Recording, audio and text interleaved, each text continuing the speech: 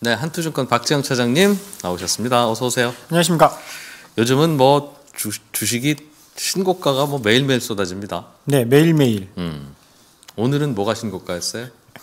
현대차가 현대차. 6년 만에. 어제는 하이닉스가 난리가 났었는데 음. 오늘은 현대차가 난리가 났습니다. 무슨 뭐 자동차 업체들의 좋은 소식이 있었어요? 기아차도 꽤 오르는 것 같더군요. 딱히 그런 건 그런 없었던 건 것 없어. 같은데 음.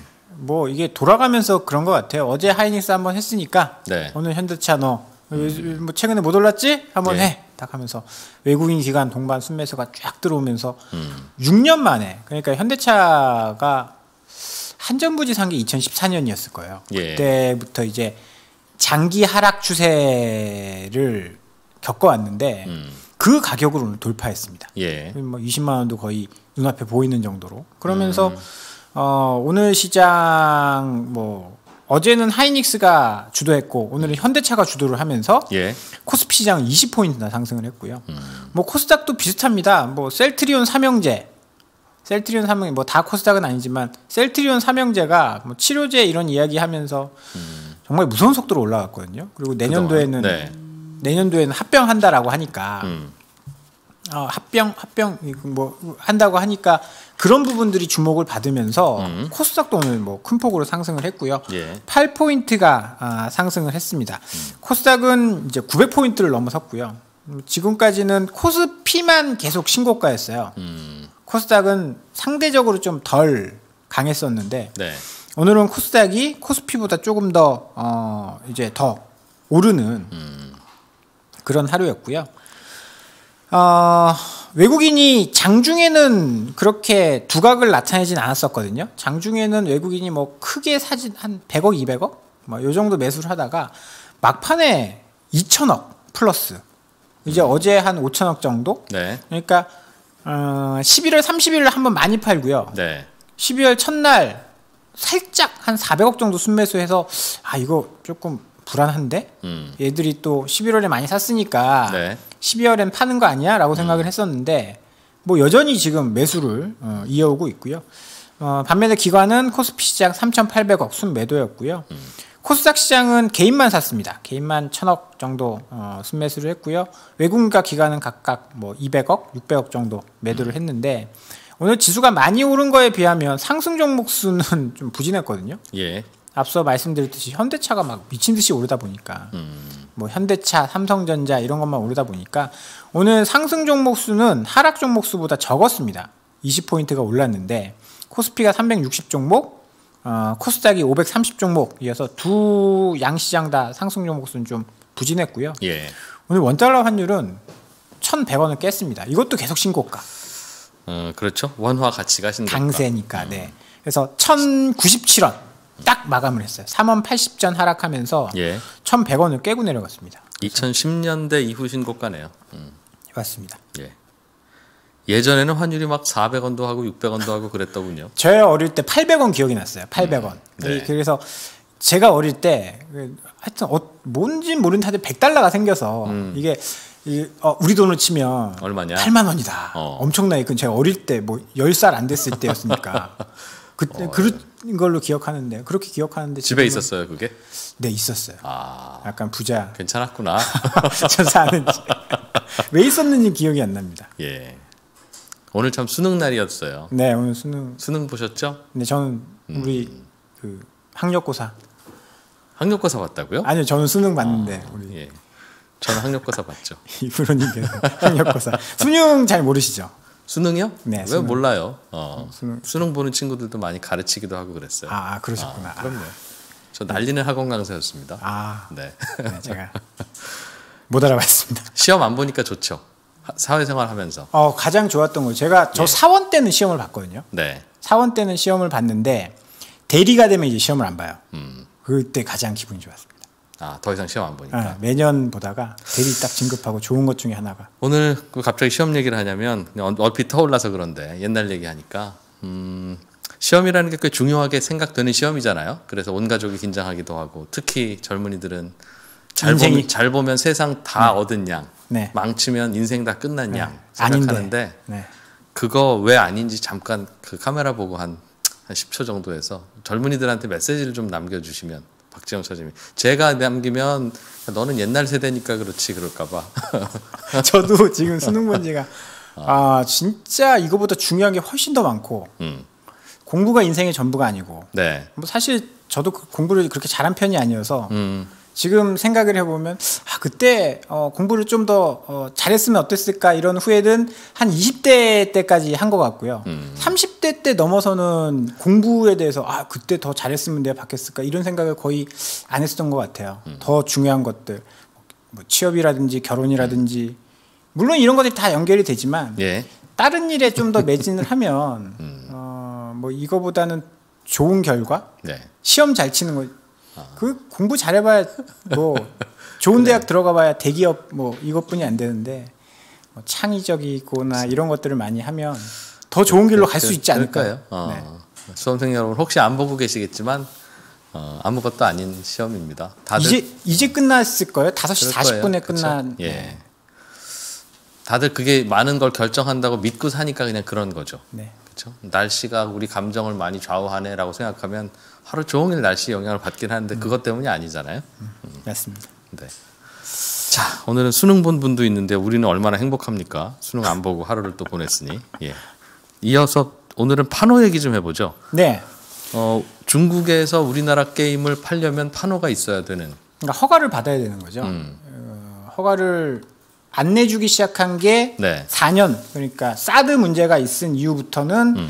어, 우리가 이제 게임을 잘 만들기로 유명한 나라였습니다. 예. 뭐 NC도 그렇고 넥슨도 그렇고 세계적인 게임들을 이제 만들던 그런 나라였고 중국에서 우리 게임을 굉장히 선호를 했었는데 음.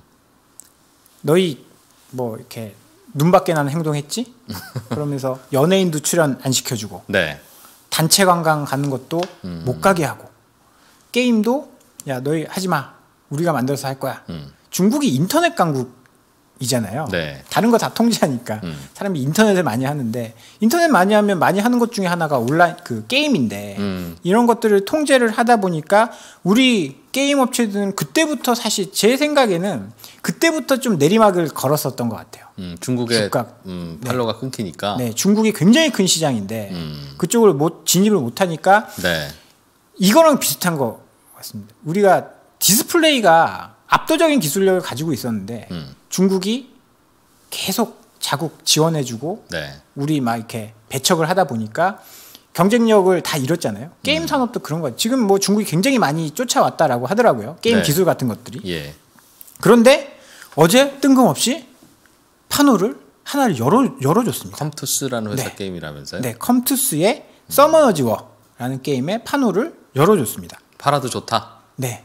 원래도 원래도 다른 회사 게임들도 열어 줄 건가? 뭐 그게 궁금한데 근데 그거를 이제 알 수 없는 게왜 열어줬는지 모르니까. 네. 지금 신중로는 신중하게 생각해야 된다라는 거는 한알령 전에도 사실 이 서머너즈 워라는 게 중국에서 그렇게 인기 있었던 게임은 아니라고 해요. 이게, 이게 유명한 대작이긴 합니다. 전 네. 세계적으로 매출도 많이 일어나고 한데 중국에서 엄청 인기 있었던 게임은 아니라고 해요. 그래서 이게 간보기용으로 계속 이제 여러 가지 국제 정세 문제도 있고 미국이랑 지금 한판 붙어야 되는데 네.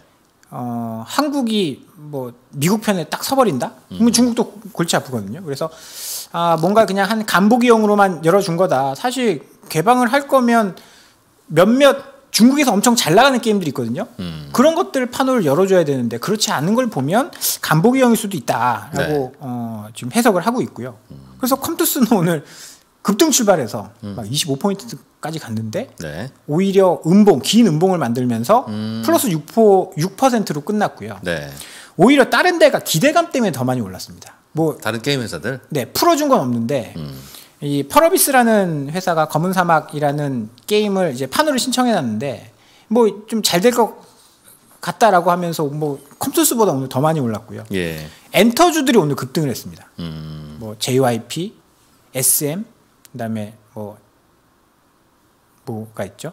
뭐 양현석. 중국 관련 주들 뭐 다 있죠. 네, 네. 음. 그런 것들이 오늘 10%씩 이제 한알령이 해제가 되면 연예인들이 우리나라에서 뭐 출연료 100만 원 받던 아이들이 중국 가면 뭐 천만 원씩 받는다 막 그랬었거든요. 네. 그 당시에 이제 그런 기대감에 음. 엔터주들이 급등했고요.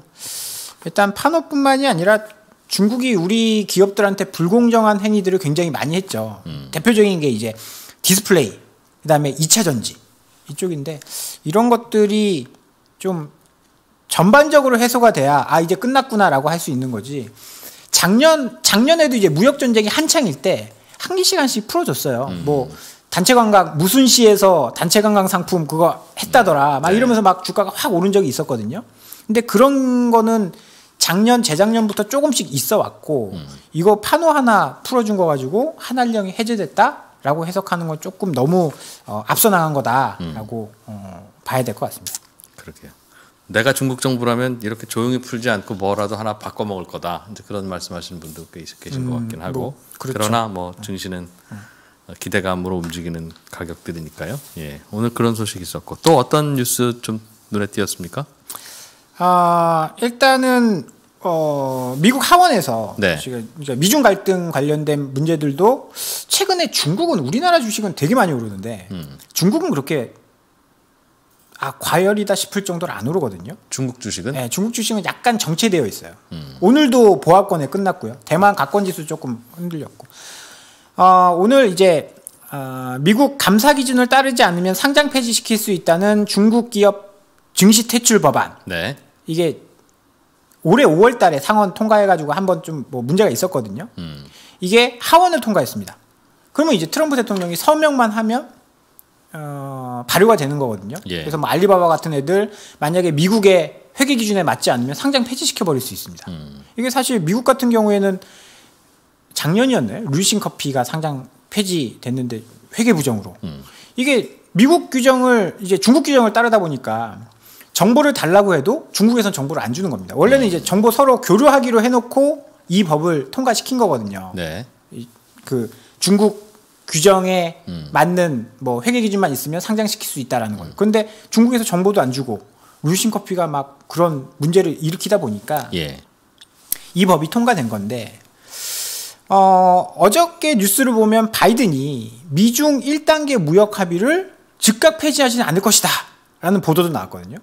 음, 합의를 폐기하지 않을 거라는 게 무슨 뜻이에요? 그러니까 지금 1단계 무역 합의를 했지 않습니까? 네, 중국은 뭐 미국의 뭐 원자재라든지 대두 이런 걸 일정 부분 수입을 음. 해야 된다. 예. 뭐, 뭐 그런 것들. 네. 1단계 합의한 것들을 트럼프 대통령이 이제 물러났으니까 바이든은 음. 이거 폐기하고 뭐 새로 하자, 새로 판 짜자 이렇게 이야기할 수도 있는데 아니야, 나 이거 계속 유지시킬 거야. 음. 이렇게 나왔거든요. 그거야 뭐 당연히 그래야죠. 대통령 바뀌었다고 나라 간에 한 일을 어- 엎으면 어떻게 합니까?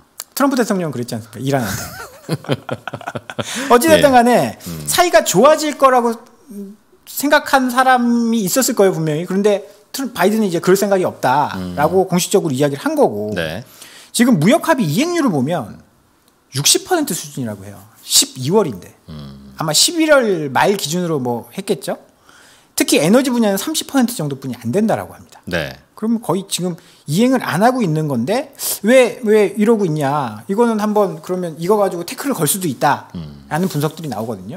그리고 오늘 또 신장 위구르 지역에서 생산된 면제품 수입 금지 조치를 미국에서 미국에서 네 예, 이게 왜냐하면 강제 노동 의혹이 있다라고 합니다. 음, 그러면 이게 겁나는 게 뭐냐면요. 예, 그 전에 트럼프 대통령은 뭐 이렇게 돈에 관련된 것만 야 우리가 너의 적자가 너무 심하잖아. 이거 가지고 뭐 관세 물려 막 그랬는데 어, 민주당이 되면 걱정스러운 게 인권 문제 걸고 넘어질 것이다. 환경 문제 인권 문제 걸고 그 얘기를 했었거든요. 근데 이거는 신장 위구르 하면 왠지 그런 거 떠오르잖아요. 그 그런 걸 좀 걸고 넘어질 수 있다라는 데서 조금 어, 부담스럽다라는 거죠. 그래서 오늘 중국 증시는 이런 영향을 이런 뉴스들이, 음. 네 조금 혼조세로 마감을 했습니다. 네, 이렇게 되면 우리도 사실 영향을 안 받을 수는 없는 그런 문제라서 좀 이거는 미중 갈등은 어, 중요하게 좀 지켜봐야 될 문제인 것 같습니다. 미국의 기대 인플레이션이 오르고 있다는 지표가 있는데 이거는 뭘로 측정을 하죠? 어, 기대 인플레이션은요 네, 장기채 금리 그러니까 미국채 10년 금리에서 네. 물가 연동채를 뺀 수치를 이야기를 합니다. 물가 연동체라고 하는 게 네, 팁스라는 어, 물가 상승률만큼 이자를 이자를 더 주는 거니까 맞습니다. 어, 네.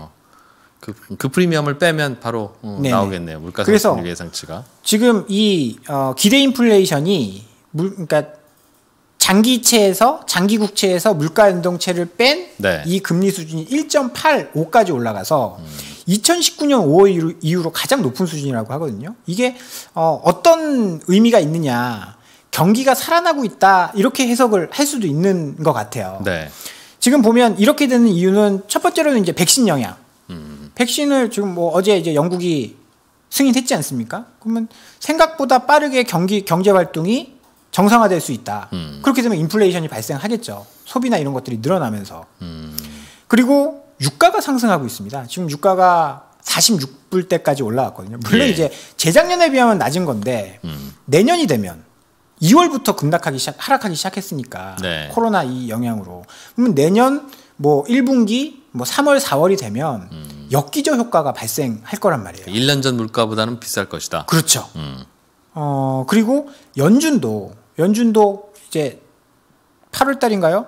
평균 인플레이션 목표제. 음. 그래서 인플레이션 발생해도 나는 금리 안 올릴 거야. 이, 이 이야기 하는 거거든요. 그러면 오를 거다 이거죠? 그렇죠. 음. 그러면 인플레이션을 용인, 용인한다라는 거니까. 예. 거기다가 이제 옐런과 파월의 조합. 음. 옐런도 돈 많이 푸는 어. 콤비. 그렇습, 그렇습니다. 음, 뭐 전에 아, 고압적 고압 경제. 네 고압 경제. 오늘 왜 그래요? 아 이게 긴장이 풀렸나 수능이 끝났다라고 해서 그 뭐 자꾸 어. 단어 생각 안 나고 그러죠? 아 치매인가 어, 지금부터 시작이에요. 제가 경험해 봤잖아요. 아, 조심해야겠습니다. 예, 무슨 단어 생각 안 날때 네. 그냥 포기하세요. 다시 네. 생각 안 나거든요. 그거 있잖아요, 그거. 어, 그거. 그러면 옆에서 좀 어, 도와주십시오. 그 주변에 그거 그냥 알아듣는 분들을 많이 만드시는 게 좋습니다. 알, 겠습니다 어, 그거 왜 그거 어디 갔어? 그럼 어, 여기 있습니다 하고 네. 주는 그런 분들 있죠. 네. 어찌됐든 간에 이 둘의 조합도 물가 상승을 지지하는 조합이다라고 음. 하면서 기대 인플레이션이 상승하고 있거든요. 이건 시장에 어떤 영향을 주냐. 경기 민감 업종이 올라갈 수밖에 없는, 경기 민감주가 올라갈 수밖에 없는 환경이고 여기다 금융주가 강세를 보일 수 있는 그런 환경이 된다라는 음. 것에 에, 포커스를 좀 맞춰야 되기 때문에요. 중요한 기대 인플레이션이 올라간다. 이거 중요하게 좀 보셔야 될. 것 같습니다. 음, 기대 인플레가 올라간다는 건 금리는 그대로 있는데 기대 인플레가 올라간다는 건 실질 금리는 떨어진다는 뜻이니까 어, 위험 자 산에는 좋은 신호네요. 이조차도. 그렇죠. 알겠습니다. 오늘은 여기까지 들어보죠. 정리해 주셔서 고맙고요. 예. 차장님도 퇴근 잘 하십시오. 네, 내일 뵙겠습니다. 고맙습니다. 감사합니다.